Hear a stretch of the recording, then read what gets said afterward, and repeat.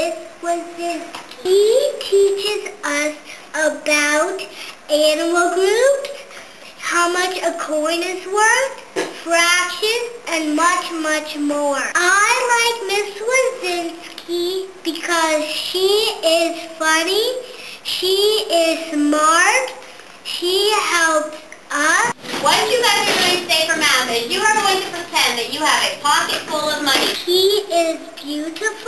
He signed up for play. The best thing about Miss Wazinski is that she cares for all of us the same. That's why we love Miss Wazinski.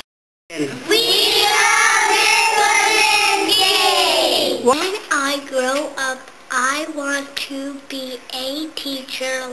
I love Miss Wazinski.